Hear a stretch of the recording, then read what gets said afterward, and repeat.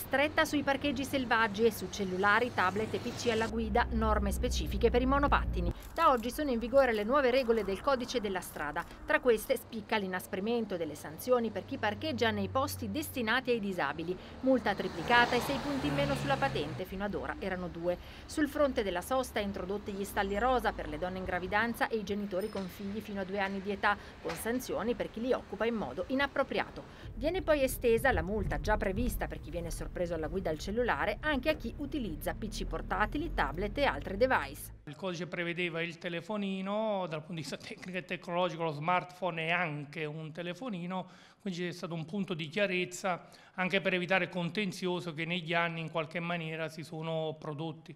Quindi il capitolo monopattini, l'obbligo di assicurazione è ancora in discussione e non sono arrivati il casco obbligatorio per tutti e la targa. Scende però il limite di velocità, vietato circolare e parcheggiare sui marciapiedi, previsti adeguamenti per indicatori di direzione e di freni su entrambe le ruote. Quello che bisogna chiarire è che ci sono due scadenze. Le norme, la, la, legge entra in vigore oggi, le modifiche entrano in vigore con due scansioni temporali diverse. Per chi commercializza i monopattini dal 1 luglio del 2022, per chi possiede i monopattini e dovrà sempre dotarli di freni anteriori e posteriori c'è tempo fino a gennaio del 2024. Voglio ricordare due, mh, due aspetti importanti. Non si possono trasportare altre persone né tantomeno animali, anche quelli eh, di affezione in caso di scarsa visibilità i monopattini devono essere e il conducente deve essere visibile. Ci sono poi anche altri provvedimenti che riguardano i pedoni, i motociclisti, le auto elettriche e il foglio rosa che viene esteso da sei mesi a un anno. Il codice della strada è dei primi anni 90, quindi a distanza di 30 anni sicuramente aveva bisogno di un